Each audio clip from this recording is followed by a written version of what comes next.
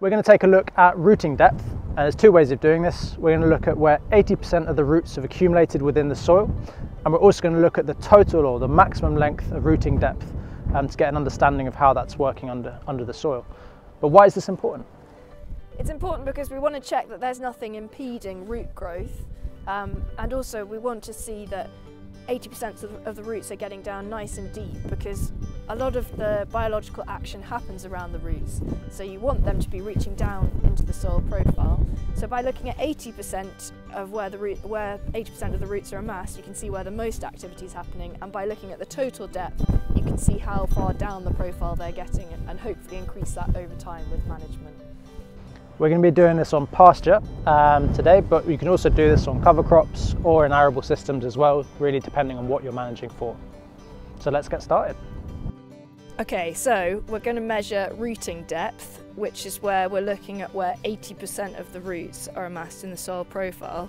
So it's quite a simple test. Once you've dug out your block, you take your ruler and you look from the top down through the profile at where 80% of the roots are amassed and here you can see that that's the bottom of the block where it's kind of dropped off so that's definitely where the root mass starts to drop off.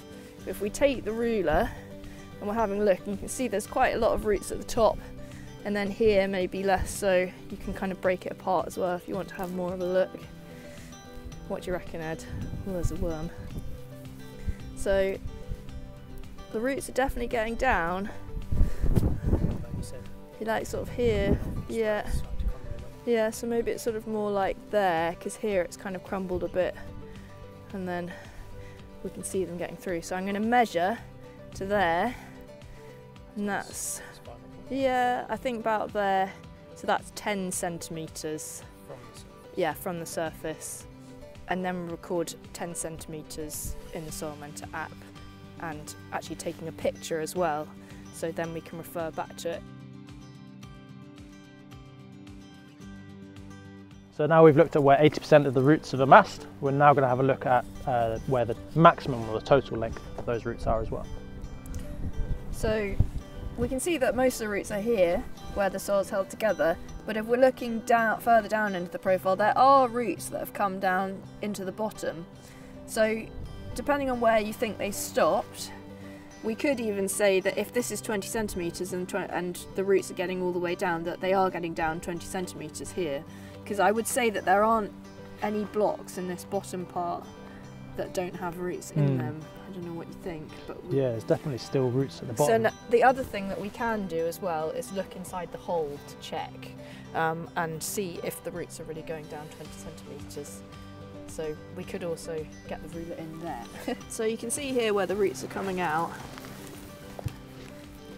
and they are pretty much getting down there. You can see there's sort of little ones coming out.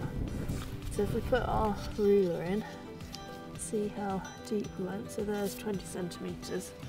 And so 20 centimetres is your kind of spade depth, Well, yeah, depth, that's right? the spade depth. So we dug out the block, which was 20 centimetres deep. So what do you reckon? Can you see roots at the bottom? There's definitely some, yeah, yeah just right yeah, at the bottom there. Just little ones. So they are definitely getting down right to the bottom of that block, which is great. Great. So we'd say. So we'd say total rooting depth 20 centimeters, and also take a photo like this, and then we can save that and then refer back to it.